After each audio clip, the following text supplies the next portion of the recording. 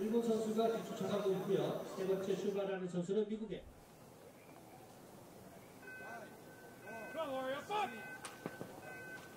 Thirty-three-year-old Laurie Stephens um, Beverly in Massachusetts to begin with, but uh, now resides in Aspen in Colorado, where many of the American team go to.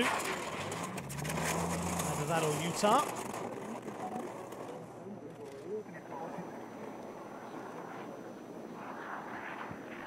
Doing this since she was 12. It's her life.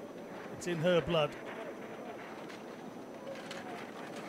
a fourth Paralympic Games. Two golds in 2006 gave her the appetite to want more. Been able to replicate that form since then. 2010 gave her a silver. Sochi gave her two bronze. So she has one of every colour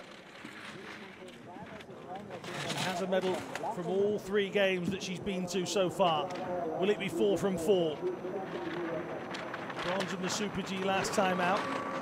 One of those golds in 2006 in Torino was indeed a Super G event.